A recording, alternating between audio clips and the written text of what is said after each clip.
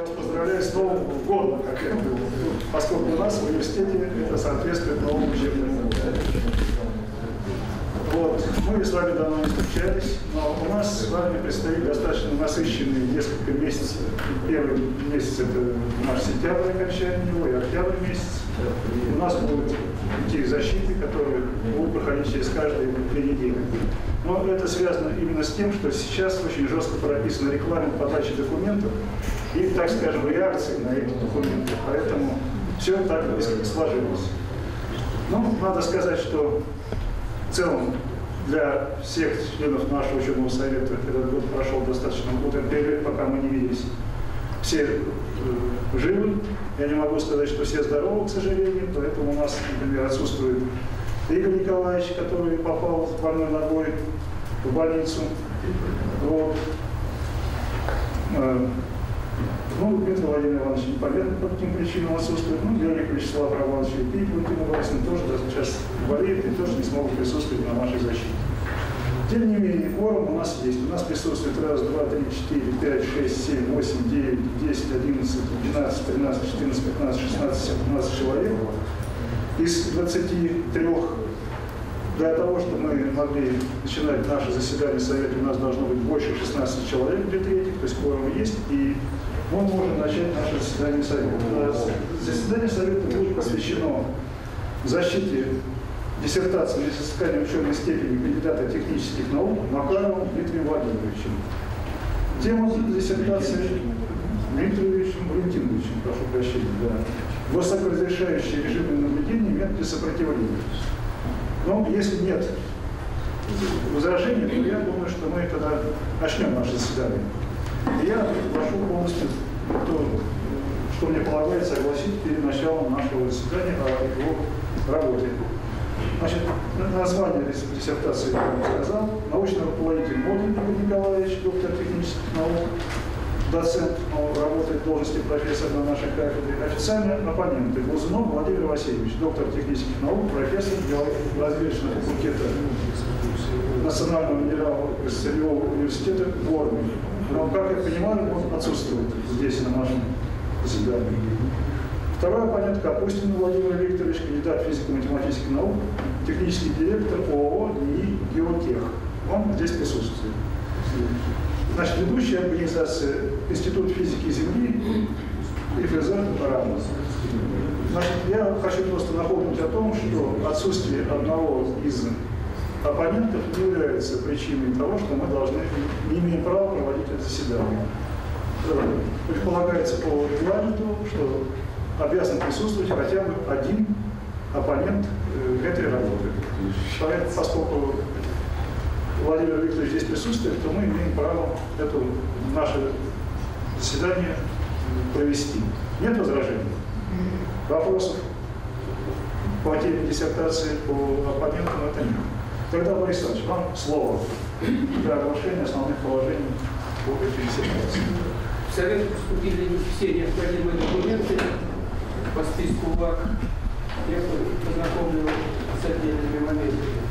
Значит, Макаров Дмитрий Валентинович, выпускник нашего, нашего кафедры, 2011 год, далее э, аспирантура, 11-14 год. В настоящее время он является сотрудником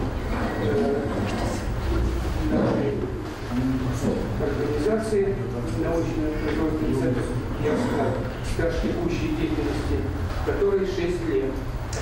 Общее количество опубликованных работ 11, по теме диссертации 6 и э, в журналах 2, списка ВАК 2 работы. Ну, если есть желание познакомиться с другими документами, то я могу обратить Но вопрос у меня такой, значит, передаст экзамен все. И заключение организации выполнялся да, извините, есть еще действительно заключение нашей кафедры предварительное рассмотрение с положительным решением выставления защиты. Наверное, это все. Если вопросы по бумагам, по документам, которые присутствуют, если вопросов нет, тогда вам представляется 20 минут основных положений своей ситуации.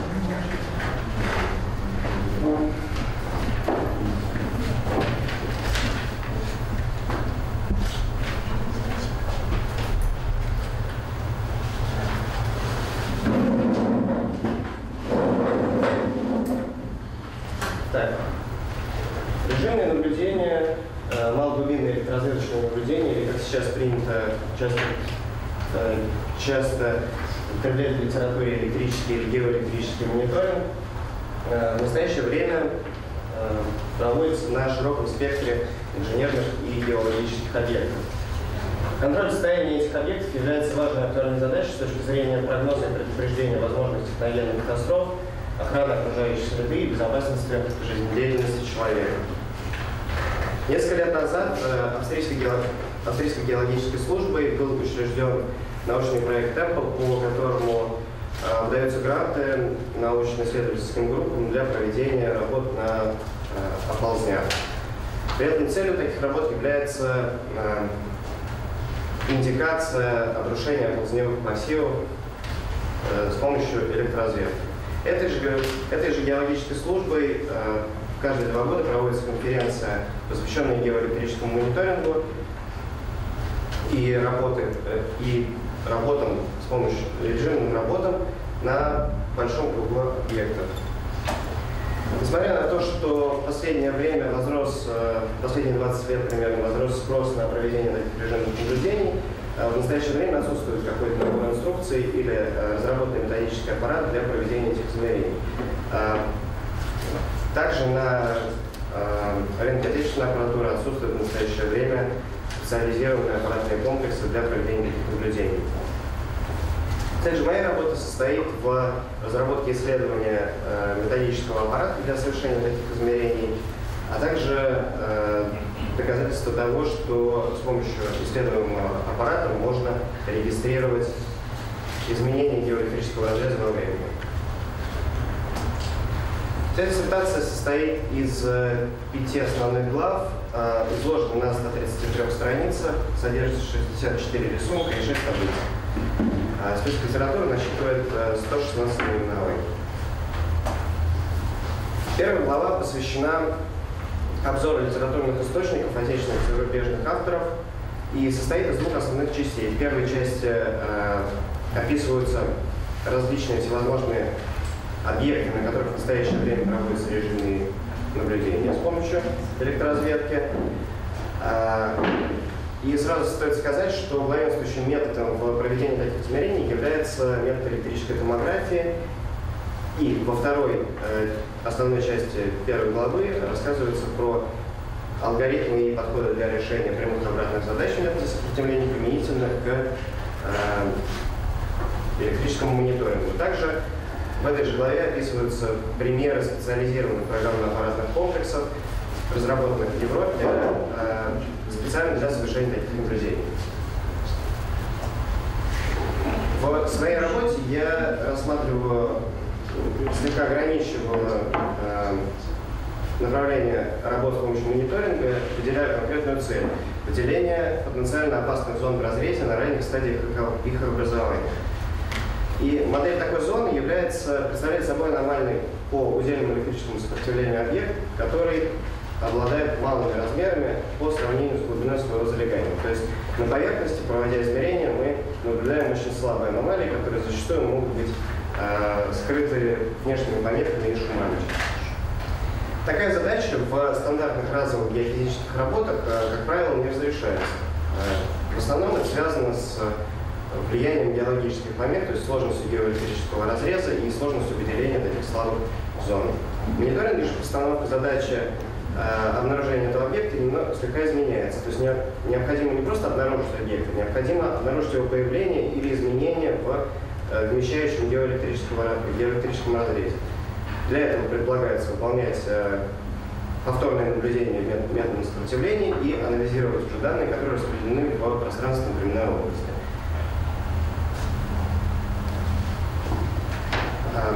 Для начала необходимо оценить возможность э, стандартных электротомографических методик для проведения режимных наблюдений.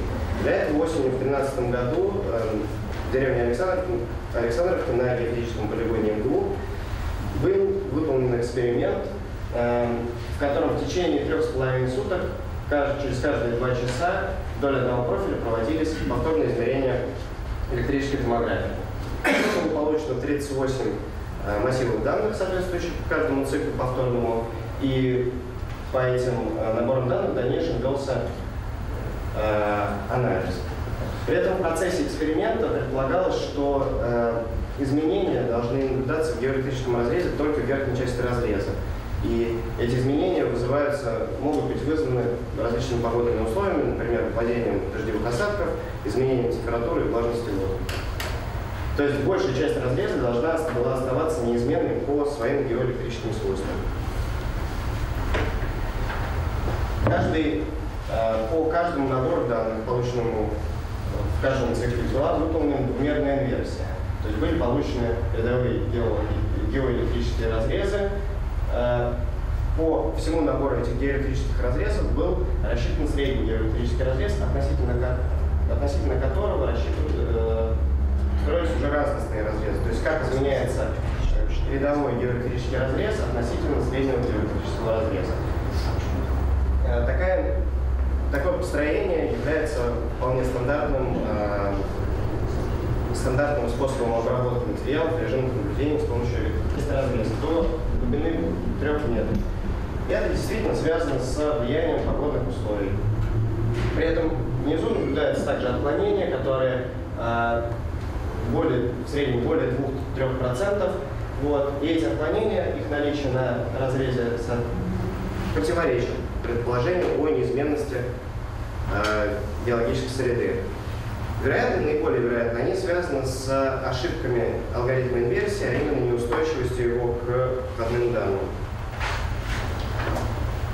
Поэтому в дальнейшем будут проанализированы входные данные в алгоритм инверсии, то есть, то есть наборы кажущихся сопротивлений. Также был, для, также был рассчитан средний, средний псевдоразрез э, кажущегося сопротивления, относительно которого для каждого рядового набора сопротивления было рассчитан разность псевдоразрезов. Отклонения на таких псевдоразрезов уже не превышают 10%.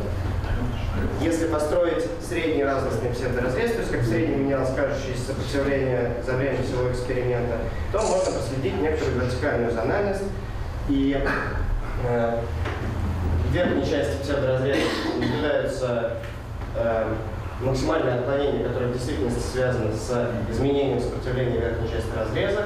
Далее наблюдается зона, э, так сказать, тишины, в которой отклонение минимальное, принципе, соответствует неизменности изучаемого разреза. А на разносах более э, наблюдается зона уже влияния помех, э, связанных с э, понижением амплитуды измеряемого полезного сигнала. По результатам дальнейшего анализа были сделаны следующие выводы. Изменение геоэлектрических разрядов на глубинах более 3 метров связаны с неустойчивостью решения обратной задачи алгоритма двумерной инверсии. Ошибки, которые с этим связаны, приводят к неоднозначности в локализации зон, в которых действительно может изменяться геоэлектрический разрез. Исследование изменения псевдоразрезов кажущего сопротивления позволяет определить фоновый уровень помех шумов, характерных для конкретных условий проведения работы.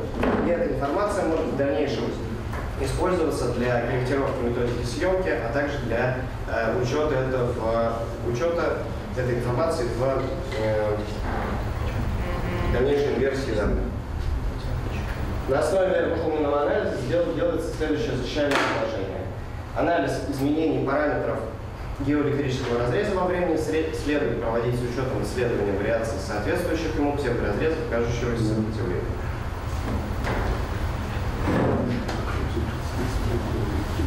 Так, в общем случае мы ищем какую-то э, локальную неоднородность, а именно ее изменение, которая контрастна с вмещающим геоэлектрическим разрезом, и э, она заведомо мы знаем то, что она мала и создает слабую аномалию на поверхности поля.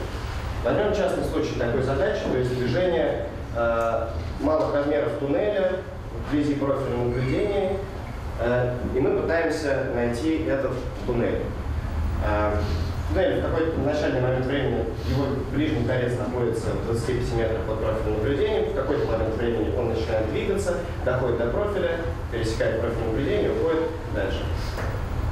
Э, очевидно, что если мы ищем слабые аномалии, нам необходимо использовать такие разведочные установки, которые будут с максимальной чувствительностью обнаруживать э, аномалию от туннеля. Такой установкой является трехэлектродная установка. По следующим трехэлектродная комбинированная установка. По следующим причинам. Для этой комбинированной установки возможно выполнить э, так называемую детрансформацию данных, э, которая максимально повышает э, чувствительность измерений к локальной неоднородности. Фактически это вычитание из одной и той же точки псевдоразреза кажущего сопротивления, то есть вычитание из одной установки в другую. Здесь представлены псевдоразрезы параметры трансформации на различные времена проходки туннеля.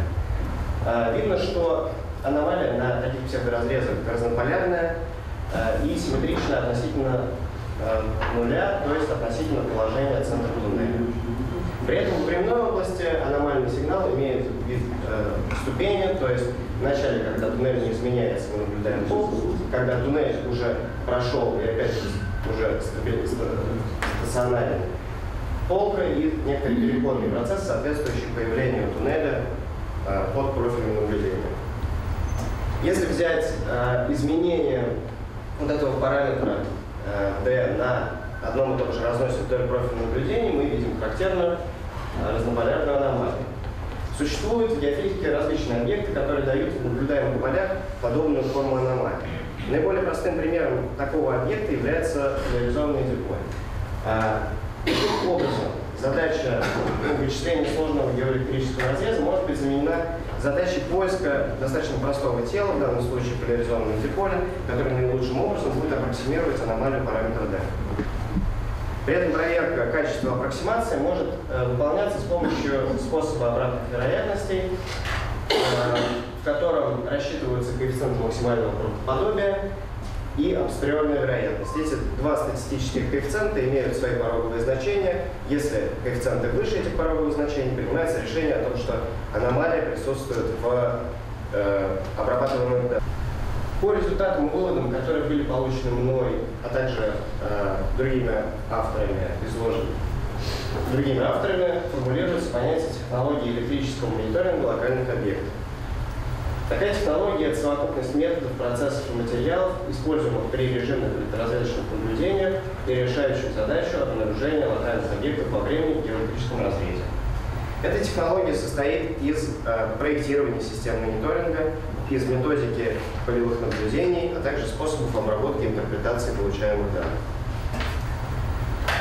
Эта технология основана на методе электрической томографии. Соответственно, измерения характеризуются своим, своей многоэлектродностью, многоканальностью, а также э, датчики электрического поля, то есть электроды, равномерно распределены по участку исследования. Она предполагает повторное измерение в автономном режиме в течение длительного времени. Следовательно, ставит задачу планирования мониторинговых работ, то есть э, планирование методики измерений, системы сбора данных и обработки. Она показывает необходимость построения алгоритмов обработки в пространственно-временной области. Кроме того, э, точность, э, с которой ведутся в настоящее время стандартные геофизические работы, гастированная 5%, она уже не подходит для такого измерения. Мы пытаемся обнаружить сигналы, которые, мы пытаемся обнаружить аномалии, которые гораздо меньше, чем, эти, чем погрешность измерений. А, соответственно, необходимо повысить точность измерений. Для этого выполняются специальные меры для ее повышения на аппаратном, методическом, техническом и программном уровне. Эта технология определяет необходимость получения э, информации о всевозможных помехах, а также о фоновом геоэлектрическом разрезе для, дальнейших, для дальнейшего его учета, то есть определение фоновых характеристик наблюдаемых электрических полей. На основе полученных выводов э, делается следующее защищаемое положение. Разработана система требований к проведению режимных наблюдений методом сопротивления, определяющая технологию электрического мониторинга локальных объектов. Требования предъявляются как к методике полевых наблюдений, так и к способам обработки получаемых материалов. Основные результаты э, моей работы докладывались на научных семинарах семинарах кафедры геофизики МГУ, а также на ряде э, международных научно-практических конференций в Геленджике, Санкт-Петербурге и Москве. По результатам работы опубликованы, э, было опубликовано 6 работ по теме диссертации, в том числе две публикации в лицензируемых журналах и списка ВА. Спасибо за. Все? Благодарю вас. Так, вопросы, пожалуйста.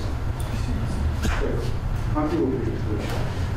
Скажите, пожалуйста, вот методически э, это установлено больше в э, электроразведке постоянным током, что вы э, смотрите изменения от усредненного разреза в процессе мониторинга, потому что у других методов, в частности, сейсмовой мониторинге, мы от начала разности еще. То есть смысл вот этого физически, я понимаю при том, что у вас изменчивость уменьшается, если вы по статистическому разрезу считаете. Это ли главная причина, что вы используете начальное движение? Или какое-то еще? То есть начальное движение, которое вы читаете?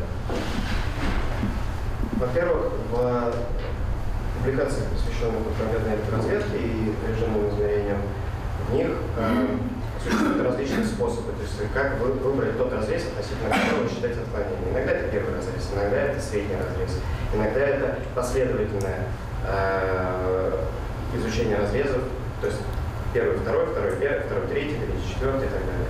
Вот. Я попробовал разные варианты, взял средний, потому что мне так казалось э, правильным. Вот.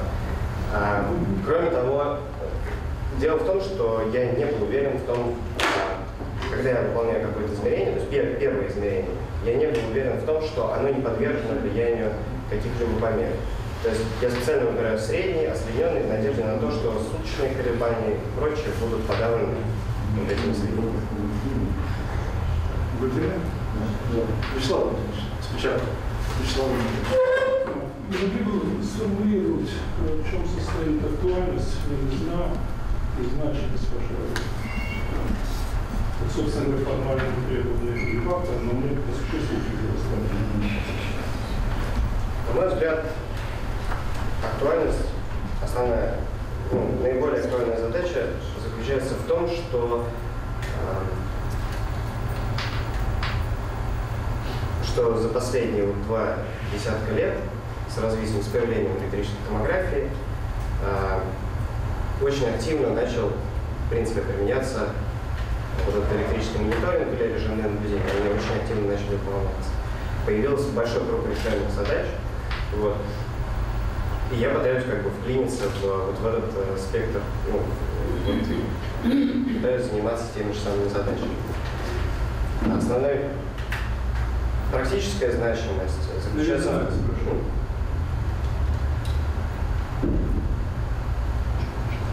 Новизна. А,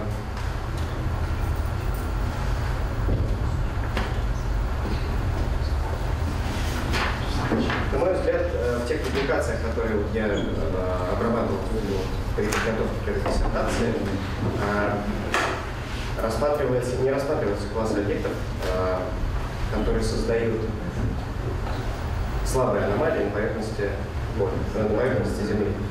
Как правило, это э, наиболее распространенные объекты, это поиски, э, это работа на ползневых массивах, это работа на плотинах, это работа на лекарства с определенных правом. И, как правило, а, все эти измерения, они, все эти статьи посвящены а, анализу данных непосредственно, например, после обрушения оползневого массива. То есть вот мы смотрим, вот мы, э, у нас есть изменение сопротивления постепенное, вот у нас массив оползневой сполз, вот, и мы наблюдаем резкий скачок сопротивления. То есть немножко сейчас плохо. Я понимаю, что не очень а, хорошо отвечаю. А, моя главная задача – это найти опасную зону в тот момент, когда она на ранней стадии ее возникновения. В большинстве публикаций эта задача не решается, она не показывается. То есть э, измерения проводятся уже в тот момент, когда известно, что действительно у нас плотина течет, известно, что у нас Э, ползневое тело ползет. Известно, что у нас действительно там есть внизу панельный провал. Вот. Я же пытаюсь э, сконцентрироваться на таких объектах, на э, том времени, когда вот эта опасная зона только начинает появляться. То есть регистрировать очень слабые аномалии, соответственно, придумать такой способ обработки из, э, данных и измерения, да, измерения, чтобы максимально, с максимальным разрешением э, обнаружить это нам. Вячеслав Ну и главное, последний. План.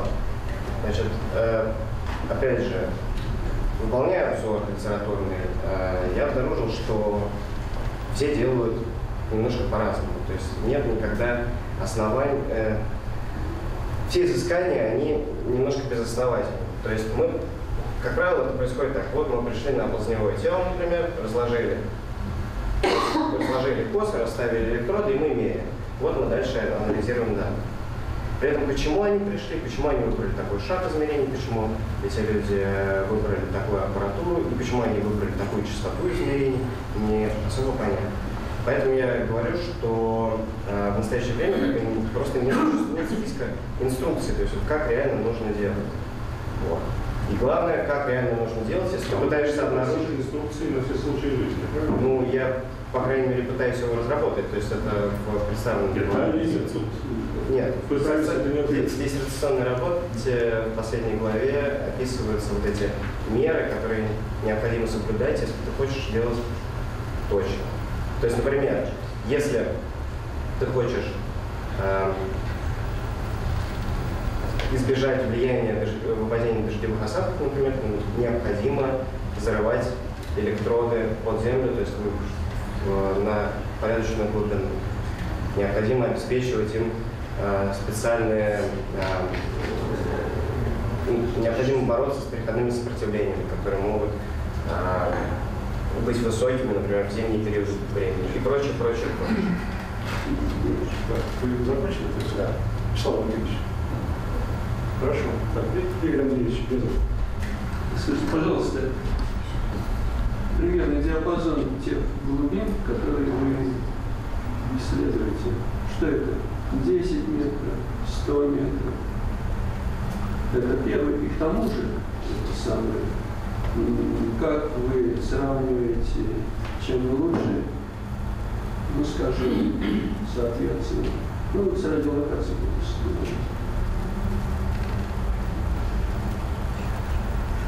Диапазон исследуемых глубин первый десяток метров. То есть де- де- 10-20 метров. Я понимаю, но откуда там, очевидно, вы говорите, что есть некий диапазон глубиной, условно говоря, который вы пропускаете. А фактически то, что вас интересует, ну, когда, скажем, там плотины, то это глубина какая? Того объекта, который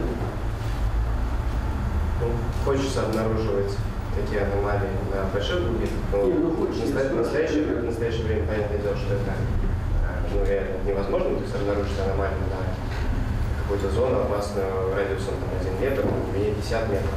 Я пытаюсь э, делать это на 10-20 метрах. Понятно, то есть это 10-20 метров, 300 метров, да, отсюда. Вот. И какие точности измерительные вам необходимо при этом обеспечить? И обеспечивает ли современная аппаратура такие точности?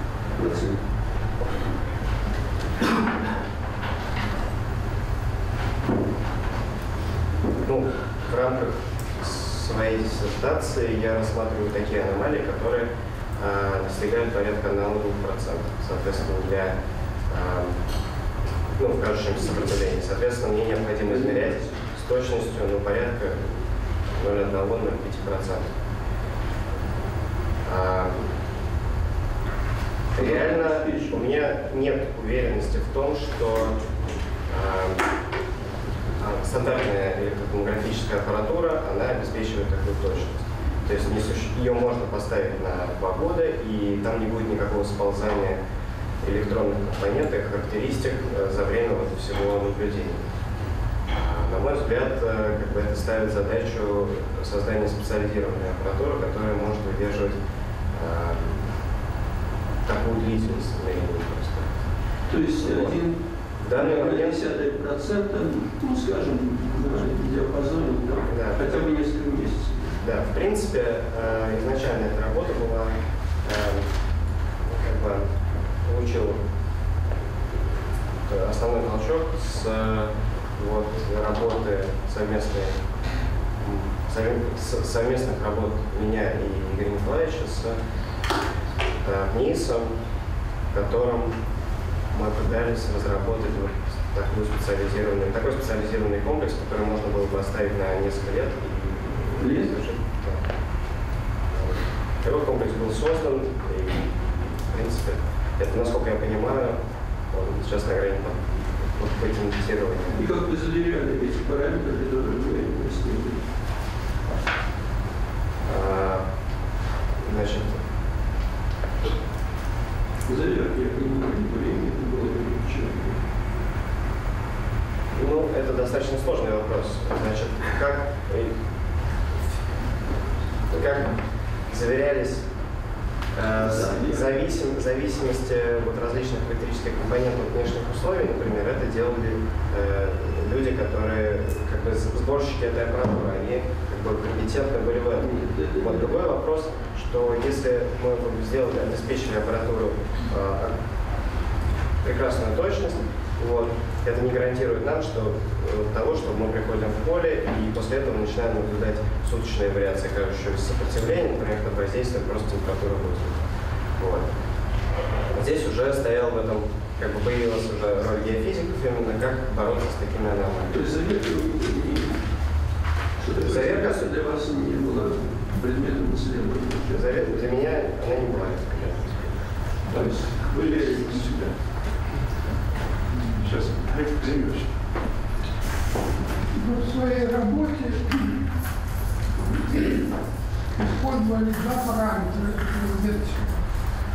Кажущийся сопротивление и, значит, сопротивление. И подход баланс. Один низкий классический, а второй примерно статистический подход. Так вот, зачем взять два таких параметра? Что тут нового? И что я считаю оригинальным работе? Два это разведочных параметра. Совершенно вообще без Удельное электричество, кажущее. Ну,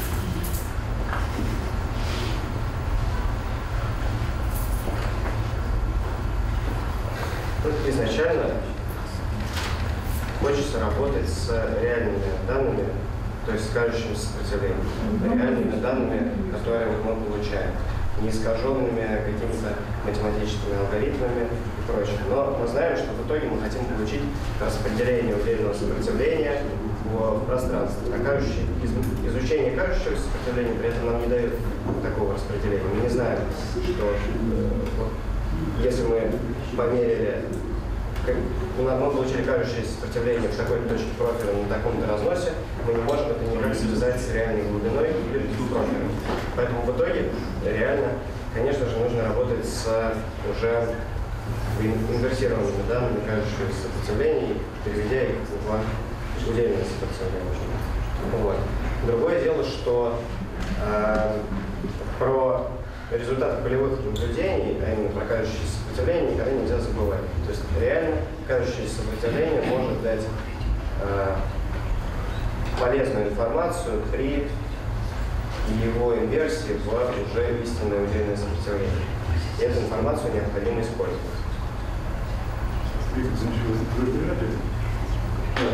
Вячеслав Валентинович, У меня один уточняющий вопрос по тем положениям, которые записаны. Там у вас э, фраза насчет того, что что-то там позволяет обнаруживать полезную аномалию. Полезную информацию я еще понимаю, что такое полезная аномалия. Я подразумеваю полезный аномальный сигнал. В данном случае вот туннеля, в данном случае это Как вы его дефиницируете? Что значит полезный и полезный сигнал? есть вполне конкретный аномальный эффект, который привносит, который привносит туннель в наблюдаемые поля, э, если он находится в водородном пространстве. Это вот его, это я считаю полезным сигналом от туннеля. Вы заранее То есть, если где-то народное дело пространство. именно с туннелем, что имеете всегда, и имеете дело именно вот с такой моделью этого туннеля. И тогда уже все зная про то, что, ну как вы знаете. Дальше вы что-то там ищете на этом фоне, расскажете мне?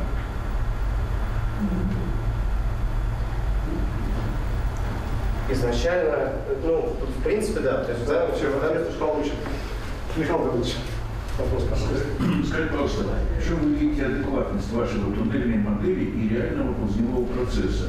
учитывая то, что при отпускном процессе происходит существенная перестройка напорной гидрокеологической системы. А деформация флюидной системы на несколько порядков может исказить ваше э, геоэлектрическое поле по сравнению с перемещением сухого материала, вот как вы моделировали в туннеле. То есть можно ли поставить знак равенства между вашей туннельной моделью и реальным выполнением процесса?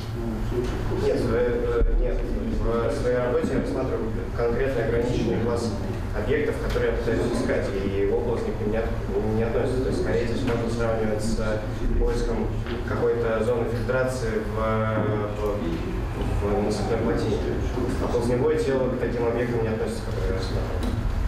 То есть я пытаюсь найти локальную зону, маленькую. Понятное дело, что это не связано с Нет, ну вы в актуальности заявили, что вы прогнозируете природные катастрофы, типа оползней и обвалов, вот поэтому вопросы возникли. Еще вопросы есть? Вопросов больше нет. Тогда присаживайтесь, сидите Переходим к отзывам, которые были получены на реферат диссертации и на отзывы ведущей организации. Борис А, вначале отзыв, да. Научный руководитель, который у нас в данном случае отсутствует, но тем не менее отзыв он представлен. Читайте, пожалуйста. Чрезвычайной востребованности и необходимости постоянного слежения за устойчивостью большого количества важных промышленных объектов. Такие измерения проводятся на насыпных, плотинах, дамбах, Режимное наблюдение востребованное сооружение, которое покоится на многомерцевых грунтах, актуальной эта задача является на магистральных трубопроводах, особенно в местах пересечения с дорогами. Кроме того, кажется, поздние пенсионные грунты области, а также являются объектами этих исследований. При проведении таких работ особой важность приобретает диагностика развития опасных геологических процессов. Это, в свою очередь, ставит задачу мониторинга разряд изучения сложных задач, которые, э, в которые вопросы методики, точности и интерпретации данных выходят на новый уровень требований. По существу, в настоящее время существует проблема разработки нового метода геофизики, новых требований, технических параметров аппаратуры, методики наблюдения и интерпретации. Научная ценность работы состоит в следующем. Исследовано изменение сигналов, которые позволяют оценить чувствительность выбранной методики, измерение к локальным изменениям в геоэлектрическом разрезе, что определяет минимальные величины аномалий электрического поля и, соответственно, возможность обнаружения меняющихся объектов, а также методика полевых измерений и обработки данных. Э, также показано, что использование при проведении режимных наблюдений стандартных электродемографических методик привносит в процедуру инверсии дополнительные ошибки в конечный результат. Величина ошибки не позволяет обнаружить малоконтрастные объекты, создающие слабые аномалии. Для преодоления этих проблем автор разработал статистический алгоритм обработки данных, который позволяет обнаружить слабые сигналы от локальных объектов с учетом возможного влияния естественных искусственных помех. Сформулированы технические требования к проведению режимных наблюдений. Эти требования предъявляются к аппаратуре, используемой для измерения методики и техник проведения работы.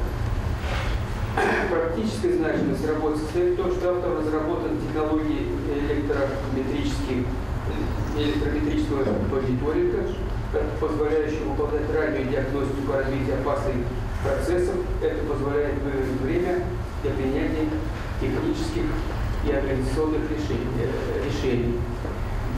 Э, Макаров работал над темой в течение последних четырех лет, когда, собственно, и стала проблема разработки новой технологии. Много я сокращу, если можно. Работа написана четким научным хорошо плане языком, отражены только те участки общей разработки, в которых участвовал исключительно автор диссертации. Поэтому работа написана самостоятельно. Все алгоритмы обработки выполнены им самостоятельно и показывают высокий уровень профессионализма. Э, Макаров принимал участие в полевых испытаниях приборов, он тестировал приборы, находил, э, отмечал недостатки, изъяны в работе новых устройств. Кроме того, он лично участвовал в разработке, отладке некоторых модификаций приборов. Занимался обработкой и анализом полученных данных, оценивал работу приборов с позиции э, пользователя, геофизика пользователя. Будучи в магистратуре и аспирантуре, активно участвовал в работе кафедры геофизики в ходе учебной практики полевых испытаний, которые выполнял лаборатории. За, время, э, за это же время он участвовал в работах на севере Тюмени, на сырых плотинах Якутии, на Алтае в качестве руководителя геофизической партии на Чукотке при обследовании угольных месторождений. Всегда справлялся с технически сложными производственными задачами. Э, ну, в общем, активно также участвовал в проведении учебных работ.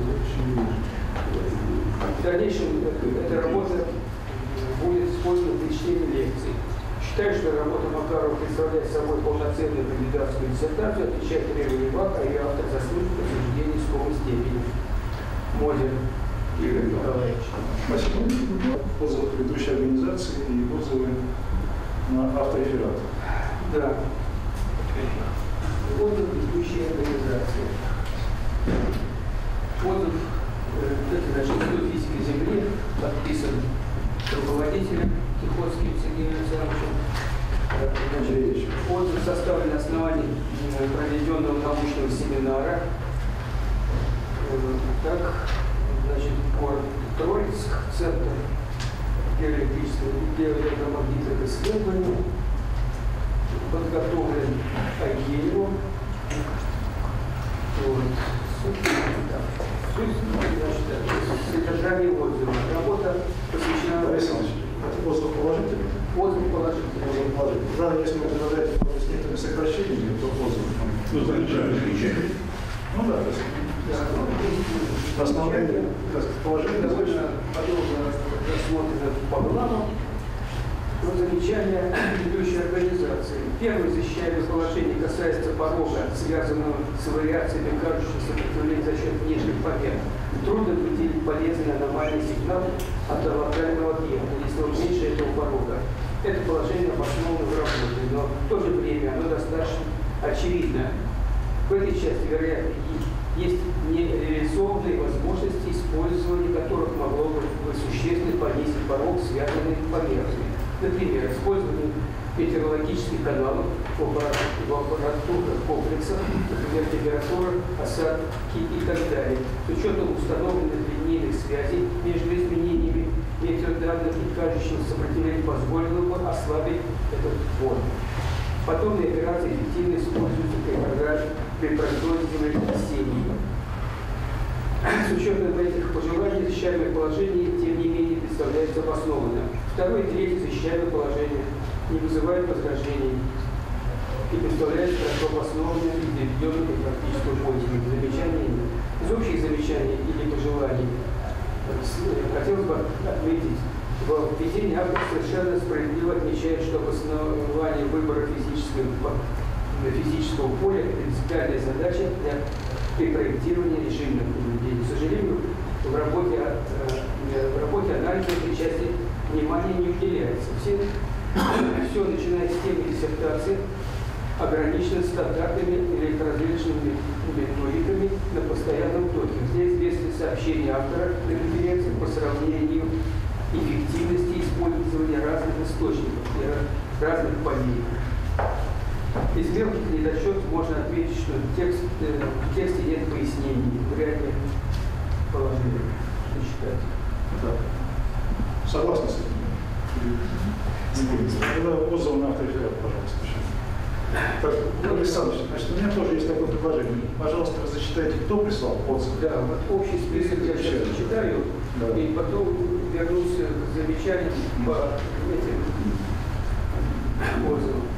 Значит, Погорелов, Белгородский государственный национальный университет, Кожевников, э, Институт нефтегазовой и геофизики, Сибирское отделение, Жутбин, так, Уральское отделение РАН, Пустозеров, э, Сибирь геофизика, Жигалин, РАН, э, явно Виктор Анатольевич, э, Ростовский государственный университет, Фоменко Николай Евгеньевич, Институт наук о земле Южного федерального университета, Аузин, доктор технических наук, Воронежский университет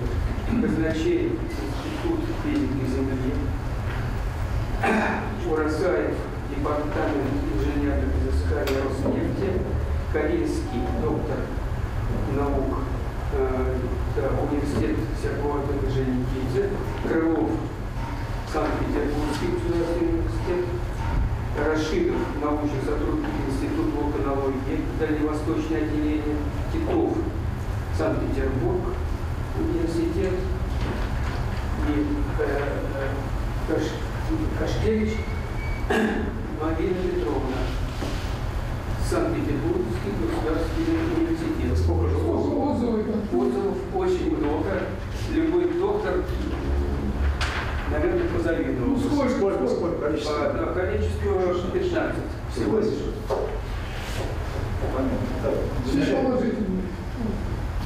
Замечательно. Теперь, значит, надо все-таки замечания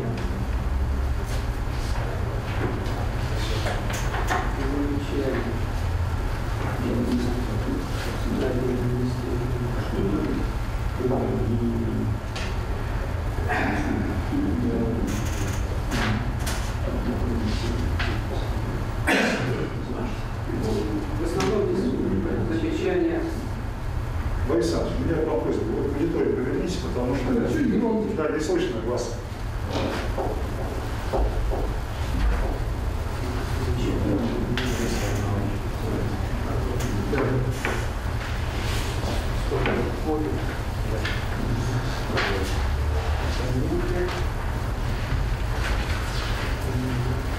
Замечательно. Ну, как-то аккуратно. Погодилов. Не указаны размерности некоторых физических величин. Страница 16. Кожевников нет. И не переведен метод расчета среднего разреза. Данная информация необходима для оценки коррек- корректности и применимости алгоритма. В автореферате отсутствуют результаты, связанные с разработкой э, системы мониторинга, реализующей предлагаемые автором условия. Пустозеров. Другим важным моментом является алгоритм обработки данных с целью выявления локальных объектов. Э, Вопрос достаточно трудный, вследствие незначительных размеров, неоднородности и большой глубиной залегания. Соискатель предложил способ обратных вероятностей э, в обозримой области статистического анализа, несмотря на имеющиеся в немалом количестве методов, он представляется наиболее оптимальным. Э, Вызывает сожаление, что приведенный алгоритм не был протестирован в реальной среде. Жигалин.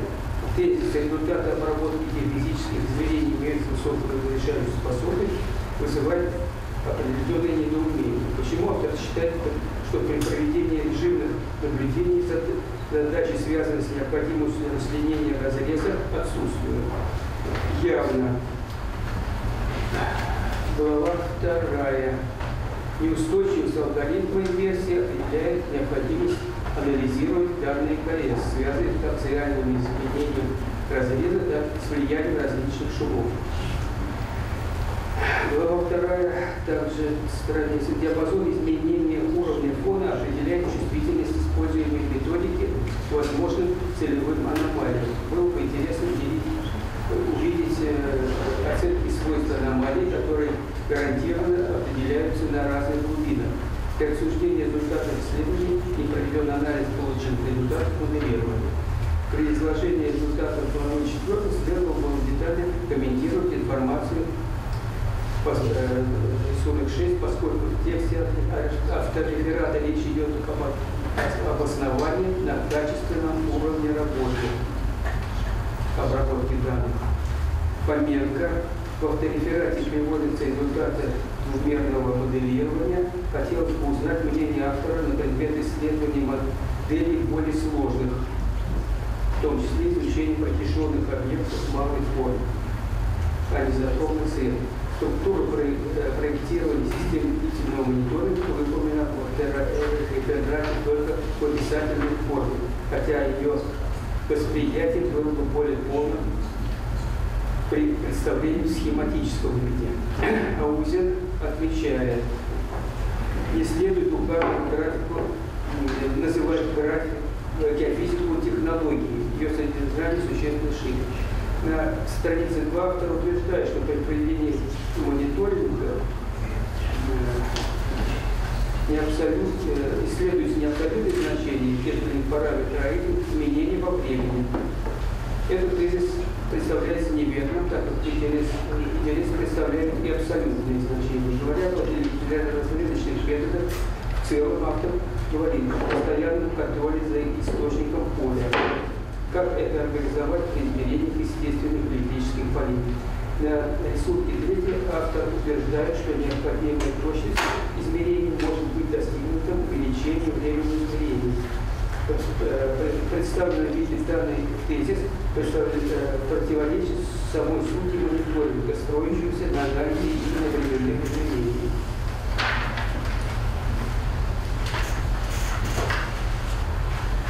Значение Глава вторая не указывает, какого именно происхождения помехи и шумы могут оказывать влияние. Урожай. Следует отметить, что рисунок 6 главе 4 сложно читается. Возможно, так, Каринский, возможно, большое внимание в в своей работе надо было уделить вопросу, как, именно какое влияние на результаты мониторинга оказывает изменение погодных условий в том числе сезонные. Крылов. Замечание вызывает только защищаемое положение. Соискатель постарался сформулировать их, как и требуется. В результате они против воли автора приобрели некий обобщенный характер.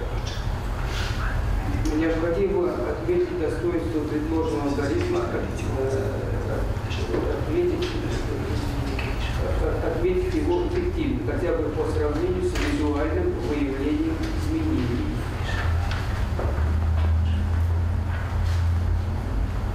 Расширим.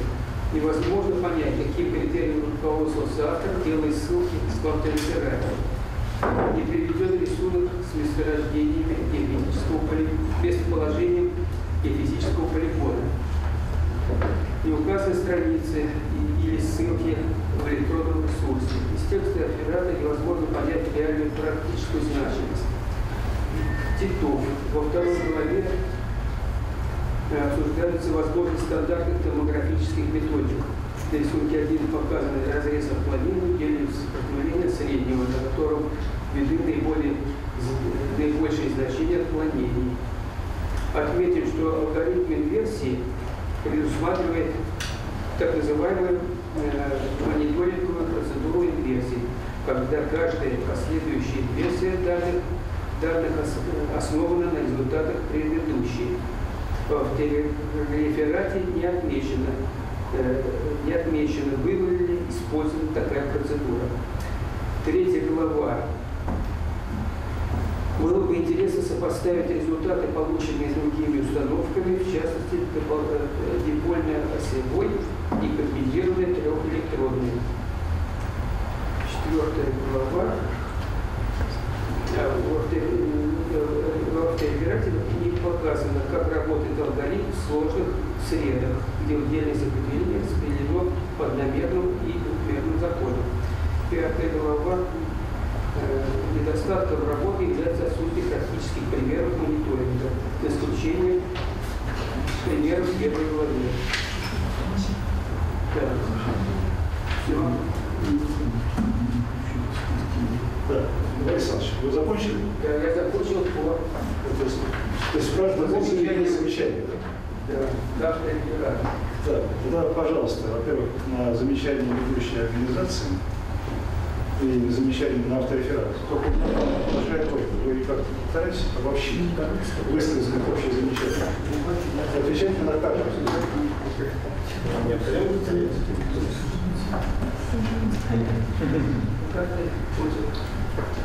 Замечание повторять мы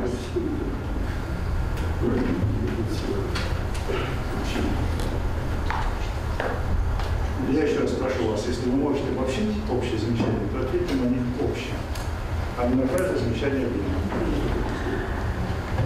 С замечаниями Агеева и ФЗ предыдущей организации я полностью согласен. Сожалею, что допустил такие огрехи.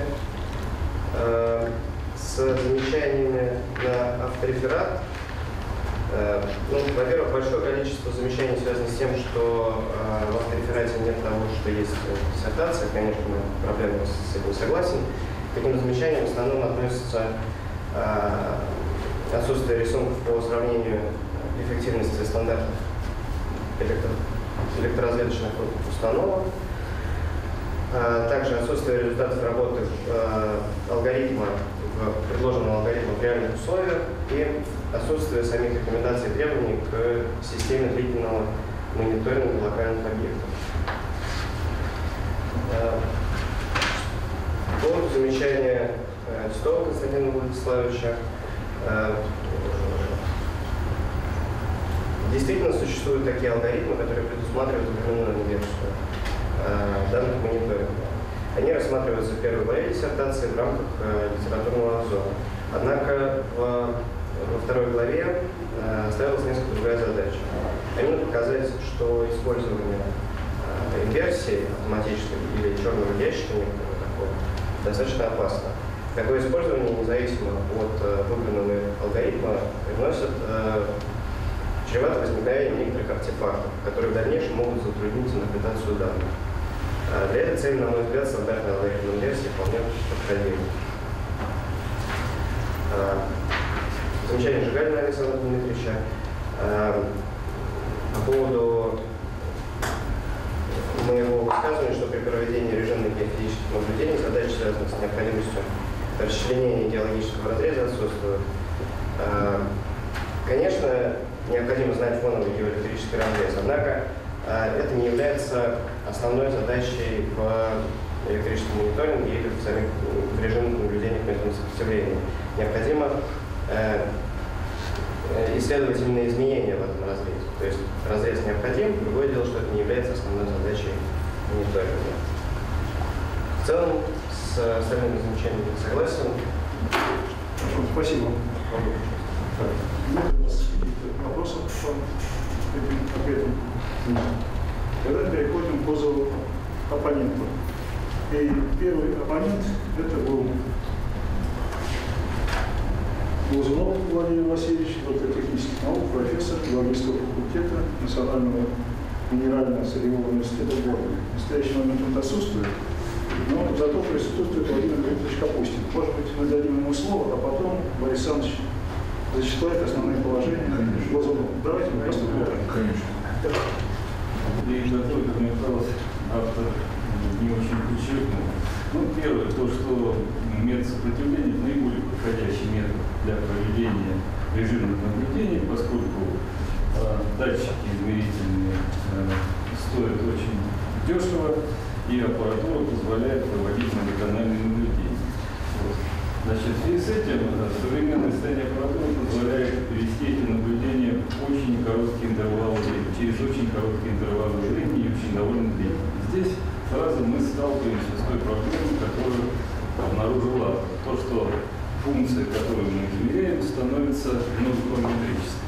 То есть, она, если мы проводим наблюдение зимой и летом, мы получаем зависимость от температуры, причем, так сказать, очень простую. Если мы проводим наблюдение через каждые полчаса, то наша функция становится зависимой от целого ряда всевозможных параметров, метеорологических, климатических и разных техногенных, и вот э, этот момент автор подчеркивает и показывает, что в данном случае э, требуется совершенно иной подход э, к обработке подобного материала. В том числе он показывает, что э, задача инверсии, она, естественно, некорректна, вот, поэтому можно работать и с самим исходным материалом, то есть каждым сопротивлением. Единственное, конечно, в работе не показано, каким образом можно интерпретировать э, разрезы каждого сопротивления, хотя математический аппарат, который вы применили, мог бы использоваться и для этого. Допустим, вы могли бы построить модель и ее искать ну, тем самым способом максимального правдоподобия. Что касается математической части, естественно, автор выбрал ну, наиболее популярный алгоритм. Здесь можно предлагать там, и спорить о том, что есть лучше, хуже. Но дело не в этом. Дело в том, что он показал, основ, на мой взгляд, показал основные моменты, которые появились вот при таком подходе. Очень оригинально э, предложен, на мой взгляд, тоже способ замены при решении обратной задачи. использования э, модели э, не естественной, а модели вот э, Диполи, который он предложил, тоже прием, который в принципе очень часто помогает обнаруживать аномалии и позволяет очень построить быстродействующий алгоритм. На мой взгляд, э, работа очень хорошая, поэтому я, так сказать, на замечаниях даже не стал сосредотачиваться, потому что, э, естественно, такой большой, э, это очень большой вопрос, и надо где-то остановиться. Поэтому если он будет этим заниматься и улучшать это положение, то, сказать, конца этой работы просто не будет. Вот. Авторам показано, что во многих, очень многих областях, которые мы сейчас исследуем, может применяться эта система. Ну и в частности мы с помощью хотя бы вот э, даже довольно такого э, простого способа можем наблюдать, собственно говоря, и движение самой геологической среды, то есть форму ее существования. Мы видим, как происходит в ней процесс. Очень интересная мысль высказана, в частности, о том, что, например, э, если проводить мониторинг сопротивления, то, ну, например, можно в том числе и наблюдать движение теплового потока. То есть по изменению поля сопротивления или поля кажущего сопротивления мы можем наблюдать, как отмечались эффект. Это, конечно, очень любопытная мысль, и ее можно развивать дальше и переносить на другие, так сказать, процессы и объекты. Ну, мне работа понравилась, поэтому я, так сказать, дал положительный. Ну, понятно. Хорошо, спасибо. Вы будете отвечать на замечания, которые не прозвучало? Наверное, не так. Когда я вам предоставлю слово после того, как зачтется второй, вы зачтете второй отзыв, тогда вы можете ответить на другие замечания, которые выпускали. Борис Александрович, пожалуйста. Это отзыв Лазунова Владимир Васильевич. Очень подробно. Сокращение. Я буду считать полчаса. Во-первых, вы не сказали сразу. Тогда давайте сокращение. Вводный слов. Я у меня такие просьбы к вам, Василий Александрович, вы повернитесь к аудитории, чтобы аудитория была. Слышал, может быть, вам даже выйти немножко по цветовой. Да, Существующие подходы к решению мониторинговых задач, как правило, основаны на эмпирических представлениях о характере изменений геоэлектрических свойств пород.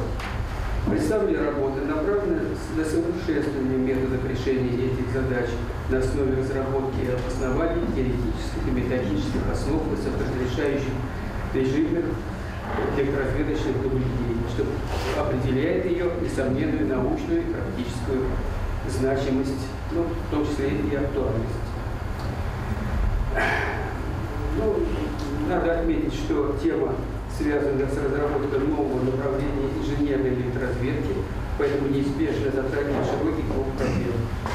В работе решаются задачи, связанные с изучением путей повышения информационных возможностей на основе оценки влияния различных факторов результаты режимных измерений, поиска эффективных методик, полевых наблюдений, а также методов обработки и интерпретации. Ну, далее идет разбор по главам. Я потом э, значит, зачитаю замечания по этим главам. Можно к этому, собственно, и перейти. Или, или все-таки анализ э, по главам? Нет, давайте замечания. Замечания. Да, замечания оппонента диссертации я их ну, выделил для этого по введению. В контексте сформулированных задач работы не совсем понятно, почему автор указывает, что отдельным направлением мониторинга является поиск и локализация в пространстве объектов, обладающих малыми размерами и малым контрастом с вмещающей средой своих, э, в своих физических свойствах. Страница 5. Ведь главная цель мониторинга электрического мониторинга справедливо сформулированную работу связана с выявлением аномалий, связанных с локальными изменениями параметров разреза во времени. По, по первой главе несколько диссонирует с темой диссертации материалов, приведенных в разделе 1.4, который посвящен результатам режимных наблюдений 11-13 э, года на насыпных плотинах мерзлого типа. Исследования плотины дали ярко выраженный отрицательный результат, свидетельствующий о том, что электрический мониторинг при сложном состоянии плотины э, обследованного типа практически невозможно. С моей точки зрения, данный пример указывает на необходимость рассмотрения ограничений, связанных с особенностями э, строения объекта исследований, затрудняющих успешное применение электрического мониторинга. Однако выводы по главе и в последующем тексте должное внимание этой ключевой проблеме исследования, связанной с оценкой пригодности объекта к этим наблюдениям, не введено. Глава вторая. Необходимо отметить, что под, э, подробно рассматриваемое в главе второй влияние на результаты инверсии данных э, электротопографических наблюдений факторов, связанных с некорректностью решения обратной задачи, хорошо известны. Это обстоятельство несколько уменьшает научную ценность выводов, сформулированных на основе анализа неустойчивости и неоднозначности локализации зон, действительно изменяющихся э, геоэлектрическом разрезе по данным электрического мониторинга. Практическую значимость первого защищаемого положения снижает то обстоятельство, что в нем лишь констатируется факт необходимости учета вариаций соответствующих псевдоразрезов кажущегося сопротивления на получаемые э, геоэлектрические разрезы. Для целевых объектов, определенных в главе 1 целесообразно было бы сформулировать рекомендации и требования для учета влияния известных внешних факторов. Четвертая глава. Э, при синтезе модели среды, вмещающей целевой объект, следовало больше внимания уделить моделированию влияние не только временных, но и пространственных помех, связанных с локальными геоэлектрическими неоднородностями, создающими стационарные эффекты подобного туннелю. Рассмотренные модели, вмещающие среды в виде однородного или даже сложного построенного слоистого полупространства, представляются упрощенными для оценки применимости разработанной методики обработки данных режимных наблюдений в условиях, свойственных реальным объектам исследований, в пределах которых могут располагаться локальные и контрастные неоднородности, например, э, инженерные сети и коммуникации. Э, второе замечание. В описании алгоритма практически не представлен способ определения фоновых значений параметра Ключевую роль э, этого параметра отмечается э, автором при выделении аномального эффекта от целевого объекта сложных поверх. В частности, указывается на необходимость расчета коэффициента корреляции, что позволяет исключить, исключить ложные аномалии, изначально присутствующие в анализируемых данных. Примеры псевдоразрезов, характеризующих пространство распределения параметра при наличии побед, обусловленных наличием стационарных локальных объектов, представляются необходимыми для понимания особенностей процедур учета фоновых эффектов. Правомерность аппроксимации пространственного распределения для трансформации электрического поля торца туннеля поляризованным дипольным источником требует обоснования по, мнению, по моему мнению, без такого обоснования достоверность определений даже приблизительных геометрических параметров туннеля, указывающих на его глубину и азимут, предполагаемым способом не столь очевидно. Все? Все? Положительное заключение, главное заключение. Значит, отмечается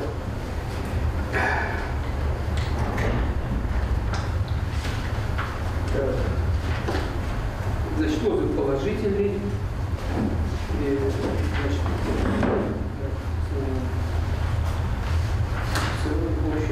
заключение. В результате анализа диссертации, э, знакомства с публикациями по теме, мной сделаны выводы. Э, работа логично и содержательно раскрывает ре, ре, реализацию поставленных целей, Каждое из положений является результатом проведения оригинальных теоретических экспериментальных исследований. Наиболее весомой значимость работы для исследования на основе всестороннего комплексного анализа проведение теоретических экспериментальных э, исследований было с использованием современных средств. Новая методика. Да. Новая методика обоснована и обработка данных режимных учреждений является интересной. Четвертое. Примеры применения разработанной методики режимных наблюдений, приведенные в работе, доказывают ее результативность при проведении малопомительных исследований. Основные результаты опубликованы в журналах и докладываются на конференциях. Автореферат соответствует содержанию диссертации на основе выше изложенного, считает, что диссертационная работа удовлетворяет результат. В работе изложена новая научно обоснованная технология режимных наблюдений, методов сопротивления, имеющие существенное значение для инженерной электроразведки. Сам диссертант заслужит присуждения искомой степени. Все, спасибо. Ответы, замечания, высказанные вами.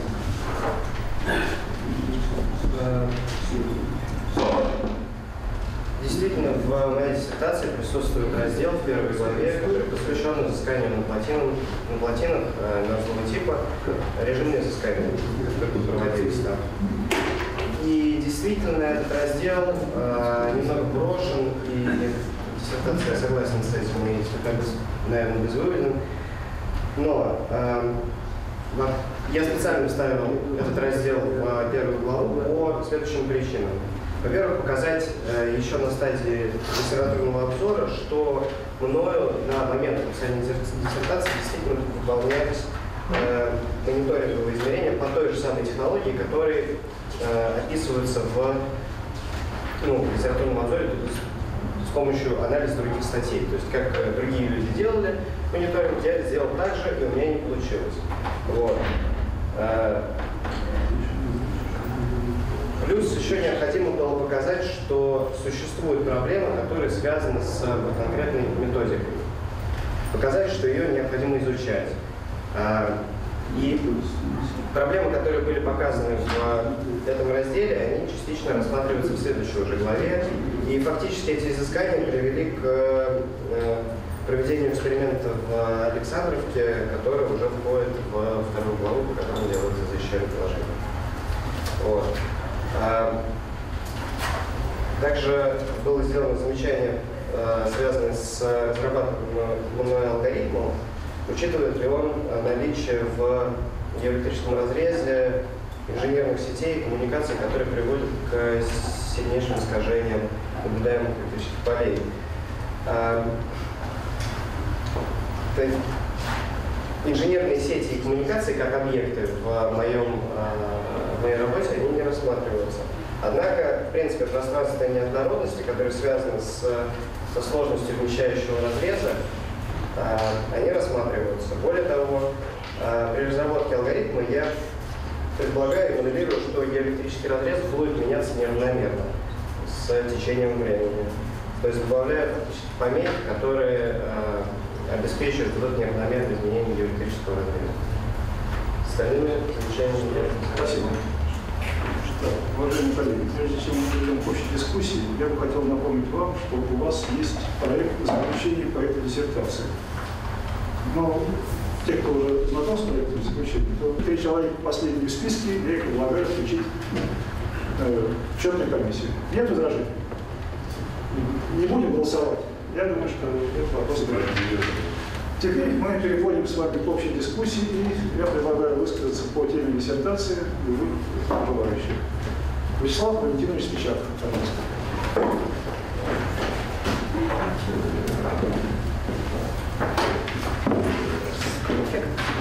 К сожалению, я ни на одном семинаре, который рассматривал судьбу Сената работы, не был, поэтому я слушал впервые. И должен сказать, что, честно говоря, мне работа немножечко очень потому что актуальность, новизна, вклад науки в эту работу, завещание положения, которое здесь перечислено, они совершенно ничто. И давайте по порядку. Белизна, по автора работы, состоит в том, что этим заданием занимаются, нужно как-то обстроиться в эту тему. Вы согласитесь, что белизна – это такая довольно символическая, да? не научная. чтобы судить об актуальности работы, нужно, вообще говоря, сформулировать и в самой работе, и в докладе то, что э, из себя представляет тема этой работы, что было сделано до автора в этой работе, и что он собирается делать нового в этой работе, в чем, так сказать, актуальность того, что он сформулировал. Этого никак нигде не звучало. Дальше. Значит, защищаемое положение. Значит, смотрите, первое защищаемое положение. Оно звучит, ну, довольно, так сказать, несерьезно. Вот смотрите, что написано. Анализ изменений параметров разреза следует проводить с учетом исследования псевдоразреза. Вы понимаете вообще, о чем идет речь? Тут, между прочим, по-моему, был вопрос э, как раз на эту тему. Э, если уж мы говорим о динамике изменения среды, динамики изменения удельного сопротивления среды, так надо ее исследовать и, и думать о том, как интерпретировать данные такого мониторинга.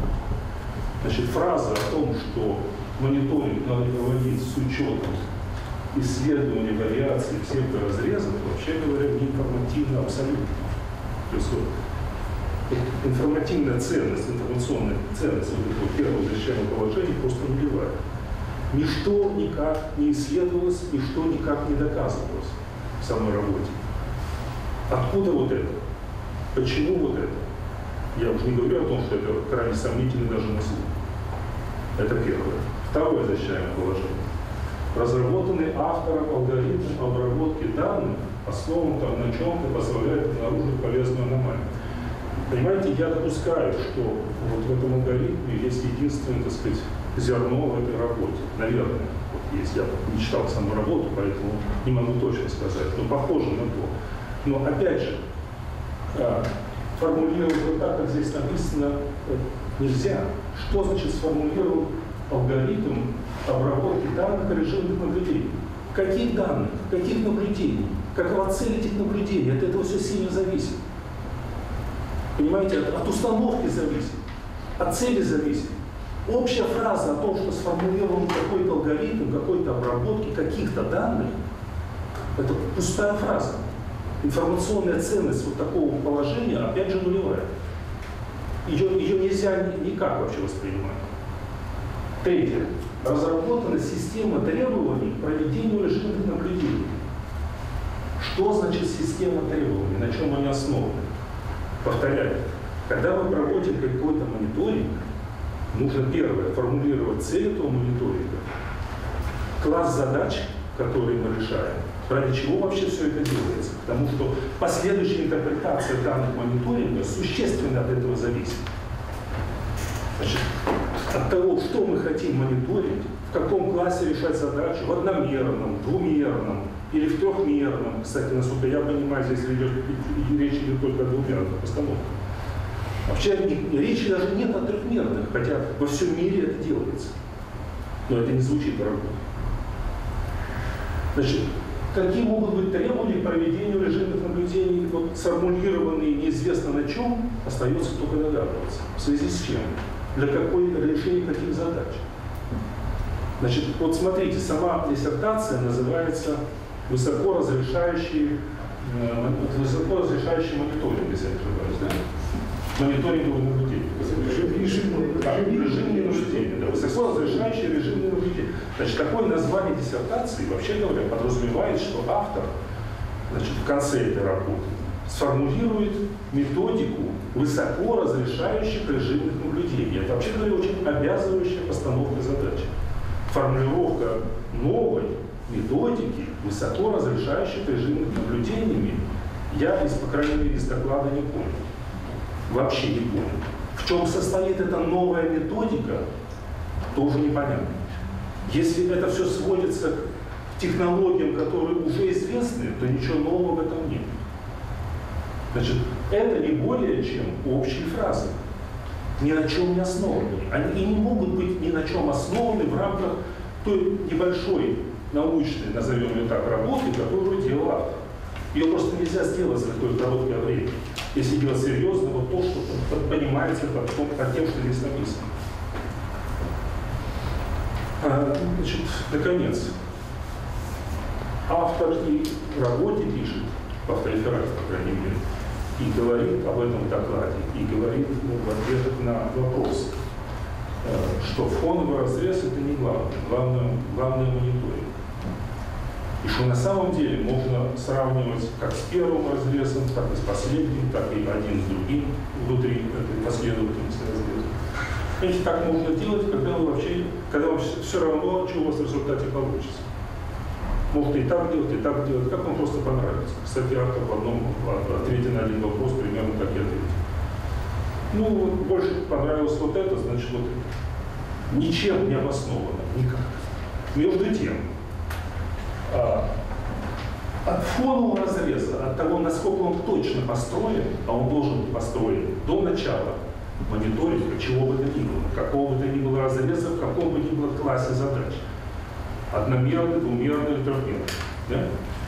Прежде чем начинать думать о том, как изменяется что-то, надо знать, что это сначала.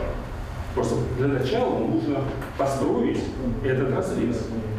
И от того, насколько точно вы его построите, насколько вы а, изучите а, чувствительность ваших данных по отношению к параметрам этого разреза, зависит все дальнейшее. Иначе оно может не иметь смысла вообще дальше мониторить чего-то, если у вас нет никакой чувствительности к такой монетке, лежащей на глубине километра. Да? Этого же тоже в работе не сделано и не звучало. Ну, если не сделано, то значит, настолько глубоко и далеко, что оно просто никак здесь Значит, я утверждаю, что для того, чтобы правильно интерпретировать результаты любого электромагнитного мониторинга и электрического мониторинга, нужно знать разрез. Одномерный, двумерный или трехмерный. И в зависимости от этого знания размещать систему наблюдений на поверхности, потому что от того, куда вы поставите датчики, зависит то, как вы потом будете интерпретировать полученные результаты измерений. А куда поставить датчики, вы можете априори знать, только зная этот разрез изначально. Иначе последующая задача мониторинга превращается в игру слов. Понимаете? Можно мониторить, вообще говоря, все, что угодно, как угодно, но без какой-либо гарантии какого-либо результата. Значит, вот что я хотел по этому поводу сказать. Ну, сожалению, вот меня эта работа никак не удовлетворяет. Да. Еще желающие выступить. Виктор Казимирович Леской.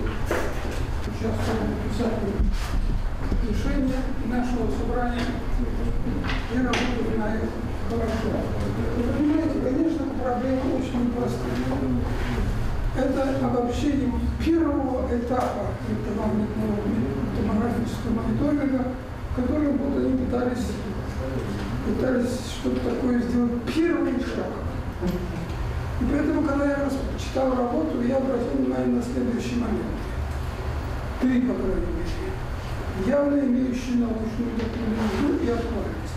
И то, что изучать, то, что проводить мониторинг духовного глубины, это ясно на разных уровнях.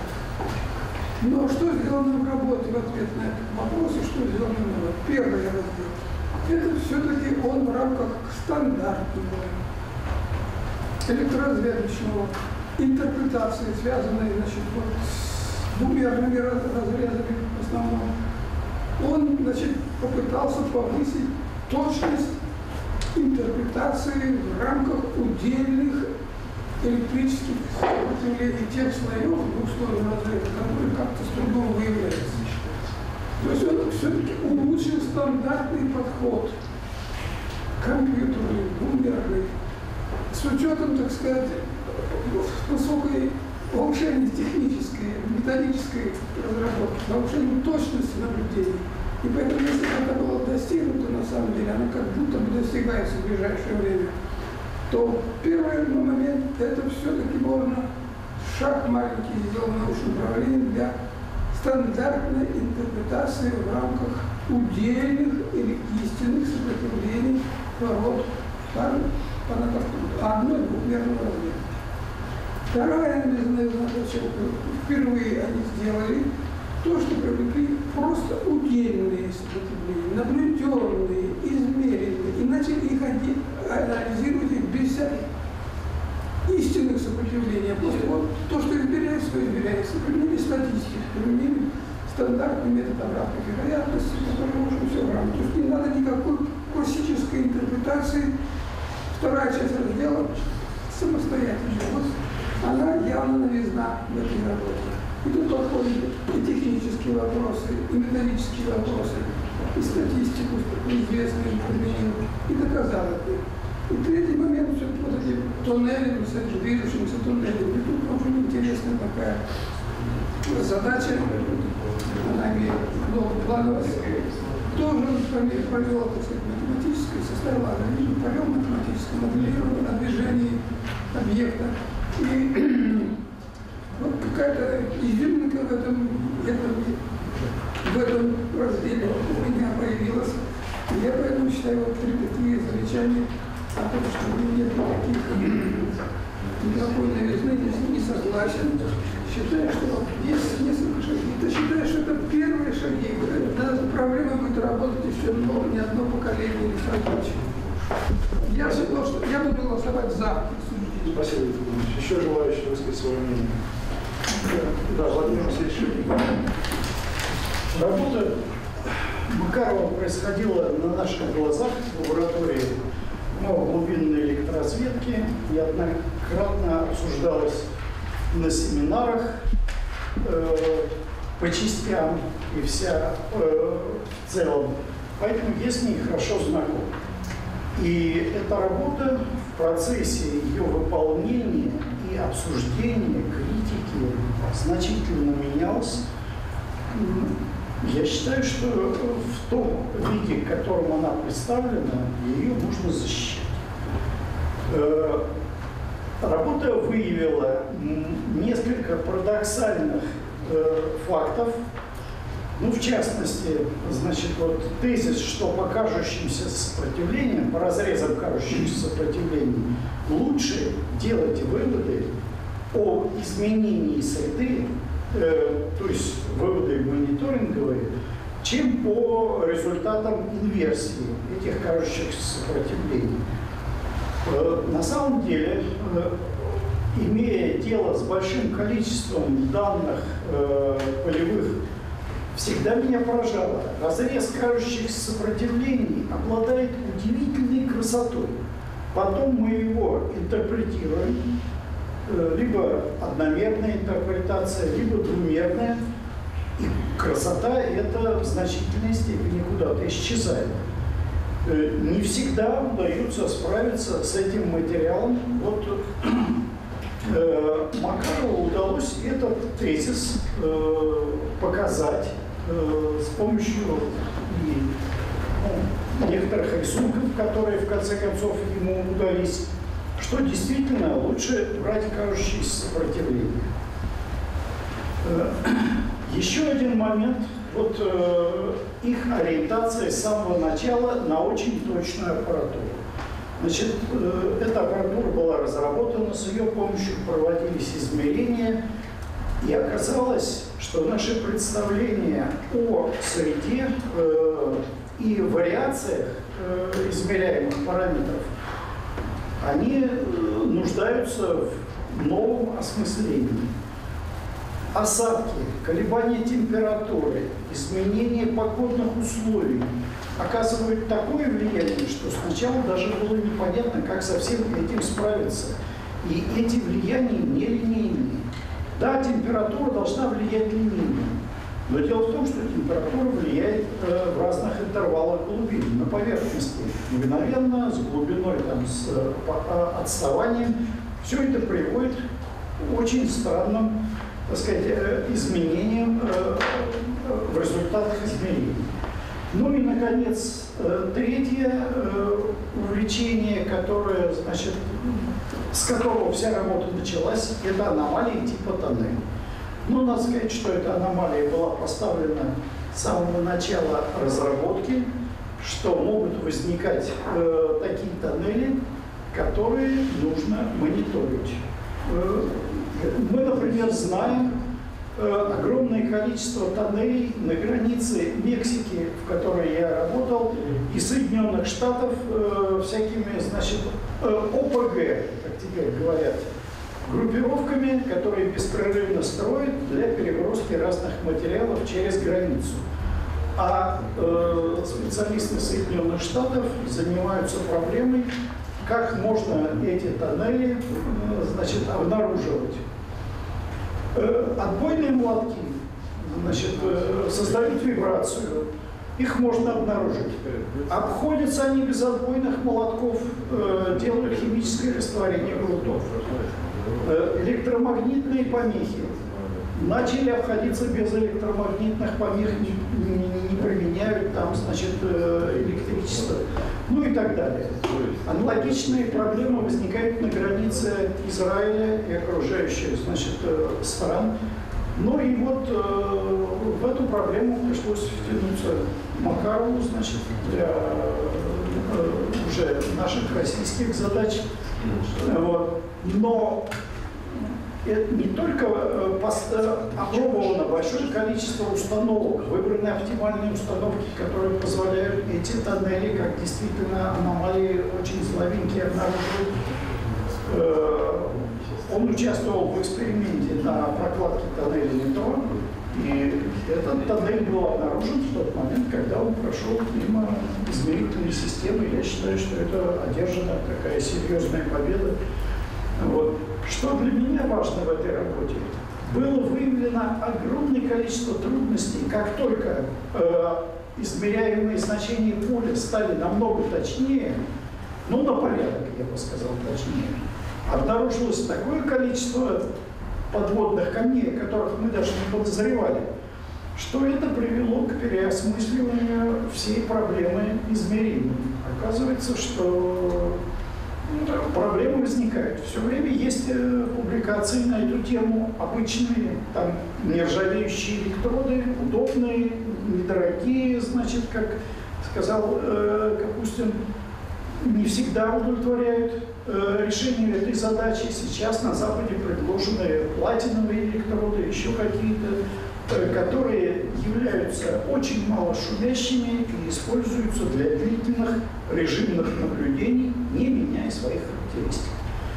То есть вот работа в силу того, что она пионерская, она вытащила огромное количество проблем, часть этих проблем Макарову удалось решить, обратить внимание значит, читателей потенциальных его публикаций и диссертаций на наличие этих проблем и предложены некоторые решения. Поэтому я считаю, что работа заслуживает искомой степени, буду голосовать положительно. Спасибо, Игорь Алексеевич. Еще желающие есть? Да. Игорь Андреевич, Лезрук, пожалуйста.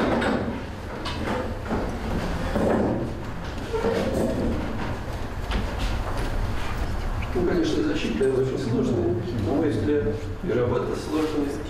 Вот. Зачитали? Другое дело, что при поднесенном материале, вот сейчас на защите, э, так сказать, ну, не очень оптимально, хотя что-то понять можно. Конечно, для меня, а я слушал эту работу в Институте физики Земли, поэтому это, я, так сказать, говорю уже немножко больше, чем просто по автореферату. Конечно, э, соответственно, все говорим, что а, он не остановился на модели. Ничего подобного.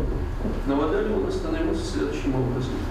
Он построил такую модель до 10 метров по глубине. Там полно аномалий электрических, которые меняются, связано с тем, есть осадки, нет осадки и так далее, и так далее. Это первый слой. И второй слой более глубинный объекты. То есть объекты на глубине от 10 метров до 30 метров, которые больше всего и интересуют, когда говорим о том, что насколько устойчивы плотины, насколько устойчивы эти самые арабы, которые роют свои туннели и так далее.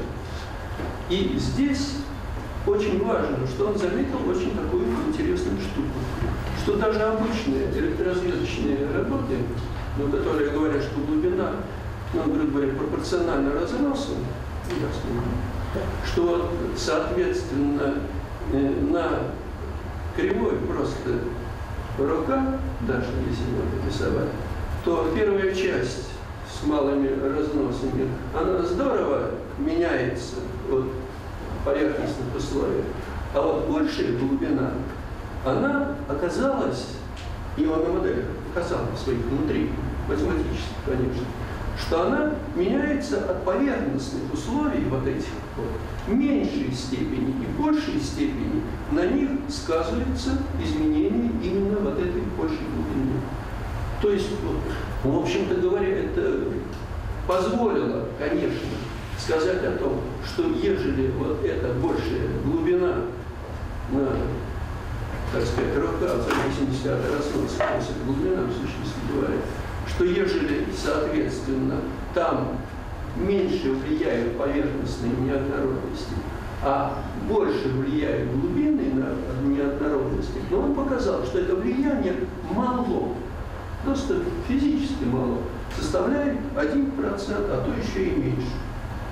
Поэтому, на мой взгляд, он обосновал просто Пардон, пардон, если бы я был вашим научным руководителем, я бы вас поругал здорово, понятно, да, что эти вещи не донесли до публики, условно говоря. И, соответственно, он обосновал, что если достигнуть повышенной точности измеривки, измерений и дойти на точность измерения десятая процента, а лучше сотая процента, и получить это на аппаратурном, правильно кто-то говорил насчет электродов, только что говорил, с электродами электроразведчики сколько десятилетий уже борется для того, чтобы электроды были хорошие, имеется в виду, не были зубящиеся, ну и так далее, и так далее. А он, как, пардон, технарь даже, достиг тех возможностей, что это точно, кажется, получается. Поэтому, если сделать поправку на широковатости защиты и представление, что всем кажется, а вот инверсия, вот это слово тут не надо применять, в общем-то говоря, в классическом варианте, как решение обратной задачи. А просто говорится, замешировается. А геологическая инверсия, это же может тоже говорить решение геологических задач. Я бы, так сказать, желал ему счастливого пути, а голосовать я буду за. Спасибо. Спасибо, Сергей Еще желающие высказать свое мнение? Больше нет. Ну, тогда заключительное слово представляется.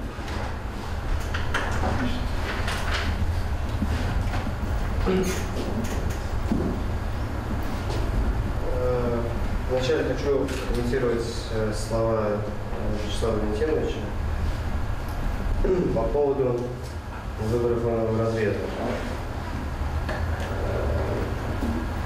Согласен, что я, ну, вероятно, я не донес в своем ответе предыдущем. Но, конечно же, выбор фонового разреза важная, важная задача. Другое дело, что я э, как бы задвигаю решение этой задачи на стадию некоторых проектов взыскания. Как вы сказали, перед тем, как начать что-то мониторить, нужно прийти вначале и все это изучить. И в последней главе, э, где я рассказываю, что ну, некоторые методические и технические требования, которые должны предъявляться к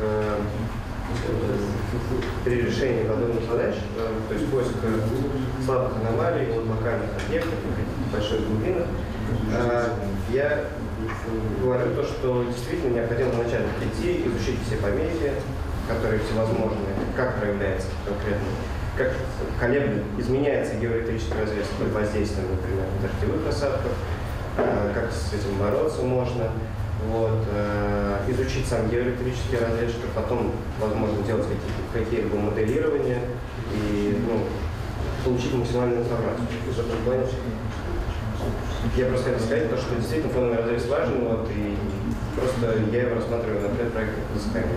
Но при этом как бы основные изыскания в мониторинге, на мой взгляд, являются все-таки э, повторное наблюдение уже полностью функционирующей системы, которая направлена на обнаружение действительно э, изменений в этом, в уже известном геоэлектрическом разрезе. Э, я благодарю вас, что вы пришли, послушали мою, э, мой доклад. Э, мне очень ценно замечания, которые вы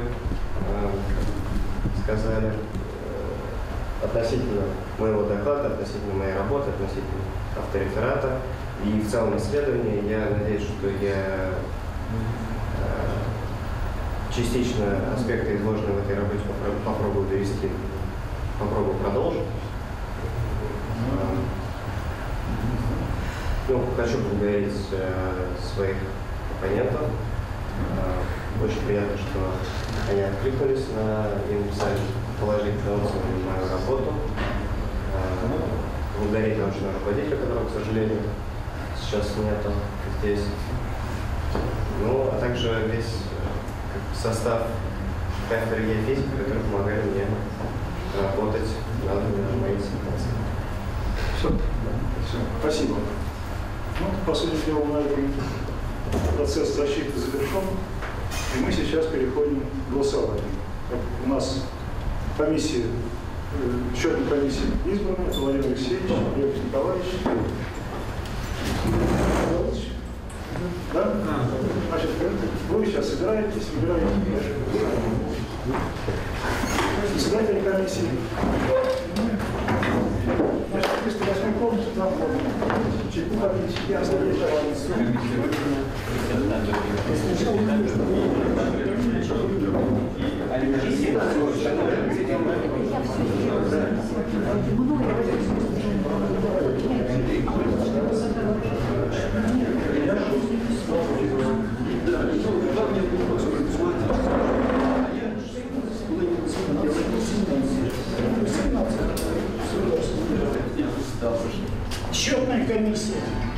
составе Шутарского, Хрусталева и Шагнина э, подсчитала э, значит, эти бюллетени.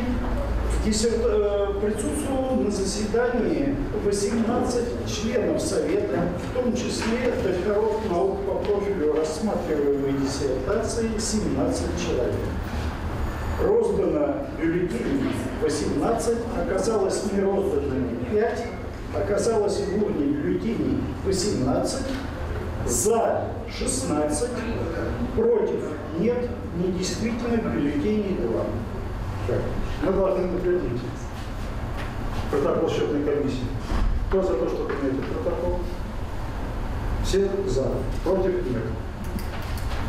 Так, тогда протокол счетной комиссии утвержден. На самом деле мы Дмитрия Валентиновича можем поздравить с тем, что он с этого момента стал кандидатом наук, поскольку большинство, большинство проголосовало за, больше половины здесь присутствующих, но это еще требует утверждения ВАКа. Я могу напомнить вам еще одно положение, которое возникло совсем недавно. Якобы Московский университет имеет право теперь самостоятельно выдавать дипломы кандидатов и докторов наук. Вот до меня, как до председателя Секционного совета, еще не дошло это решение. Якобы оно уже принято. Вообще очень много произошло всяких изменений, я потом вам уже расскажу перед началом следующего заседания о том, что у нас здесь есть. Но, тем не менее, значит, если это не вам будет утверждать, то будет утверждать ученый совет Московского университета о том, что вам присудить ученый степень. Но формально она будет считаться именно с этого момента, когда прошла ваша защита. Это первое. Чем я вас и поздравляю. Теперь Все могу вы заключение секционного совета. И есть ли какие-то замечания по тексту этого проекта заключения? Если так замечаний нет, тогда мы, наверное, принимаем этот проект заключения, и мы его... Нет возражений? Ну, тогда я думаю, что мы даже голосование проводим по этому поводу. Теперь у меня есть такое предложение. Давайте мы с вами организуем небольшой перерыв, минут на 10 минут. Попить чайку, немножко встряхнуться, прогуляться. И без 25, к сожалению, у нас мы идем немножко с опозданием. Вы уже не можете. Ну, хотелось бы, чтобы присутствие. Без 25, к сожалению, без 25. Давайте мы начнем без за опоздания уже следующий защитник. И к этому моменту нужно подготовиться все остальное.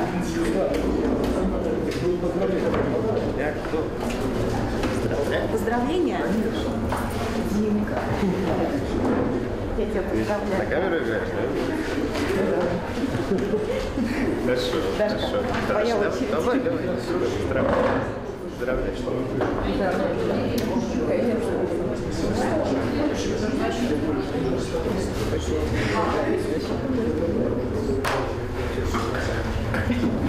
Прошла отлично, молодец. Ну ладно, все. Снимали.